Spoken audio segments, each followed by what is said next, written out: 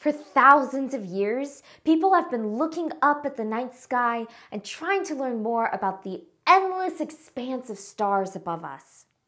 But no matter how carefully we watch the skies, our eyes can only get us so far.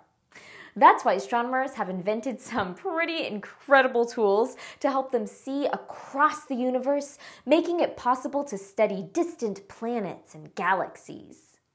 By the end of this lesson, you'll be able to describe the different ways astronomers collect information from space, and identify forms of radiation that reach Earth from space. Let's get into it.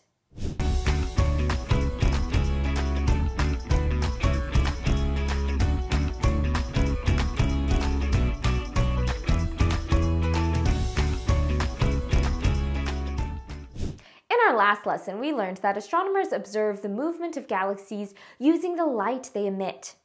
In fact, just about all of the observations we make about the universe rely on light. But light isn't just what shines out of stars. Light is really just the name we usually use for electromagnetic radiation. Electromagnetic radiation is a form of energy produced by the movement of particles traveling in waves at the speed of light. These particles are called photons, which are basically just little packets of energy. Whether or not we can see light or electromagnetic radiation largely comes down to its wavelength, or the distance between two waves. So, what does wavelength have to do with studying space? Well, knowing the wavelength helps us choose the right tool to observe the electromagnetic waves. And as it turns out, nearly everything emits waves of electromagnetic radiation. That's right, everything. Stars, planets, even you and me. If we figure out the wavelength of an object's electromagnetic radiation, we can figure out what tool we need to observe the object itself, even if it's millions of light years away in space. So, how do we observe electromagnetic radiation? Well, remember, it's light.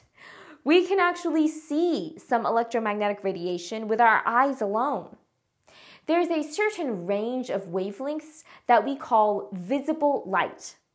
At the long wavelength end of this range is red and orange light, while blue and violet light are at the short end. When an object in space emits visible light, like a star, we can simply observe it by looking. Of course, to make looking easier, we magnify this light with powerful telescopes.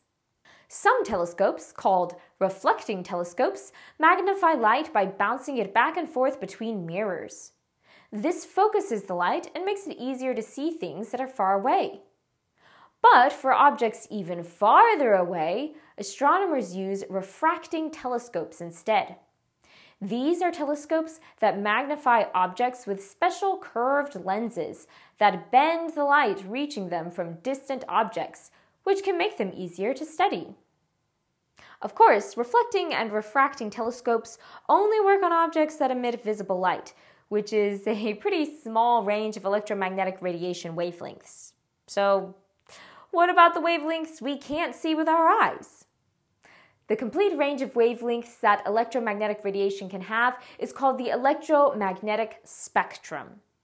As you can see, the range of visible light wavelengths is just a tiny sliver of the spectrum. The longest electromagnetic waves are radio waves, which we use to transmit radio broadcasts and cell phone service. These can have a wavelength as long as entire buildings. On the other end of the spectrum are gamma rays, with a wavelength as short as a single atom.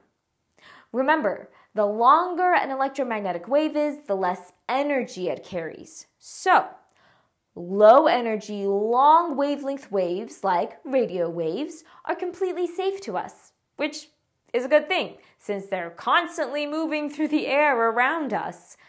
On the other hand, X ray waves and gamma ray waves are high energy and could be dangerous to us. So these waves are only used very carefully in settings like doctor's offices.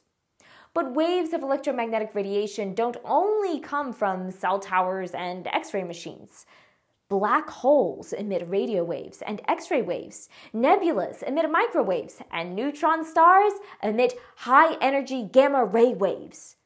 Of course, since we can't see these rays, reflecting and refracting telescopes don't work on them.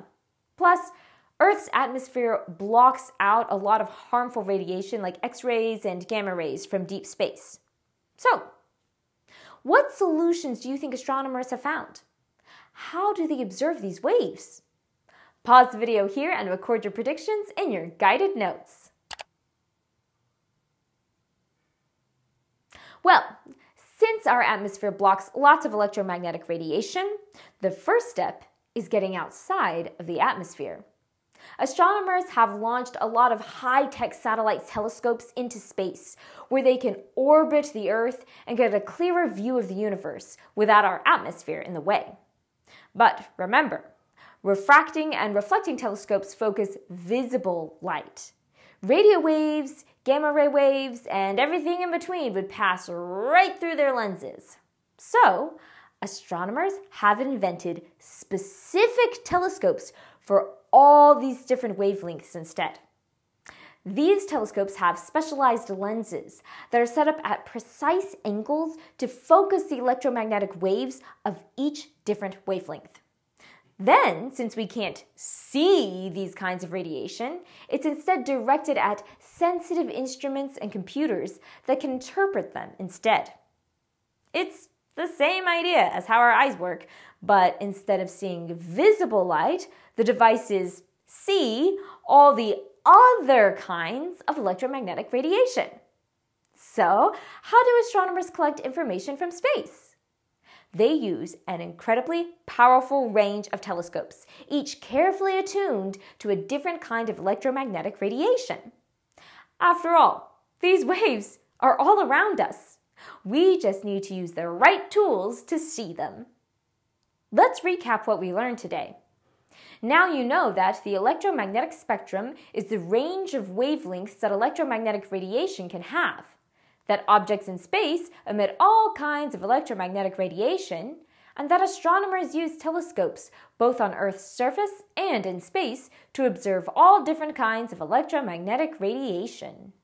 Be sure to check out the practice questions and extension activities that go with this lesson to learn more about how we study the universe. And as always, remember, you are out of this world. See you next time. Hey.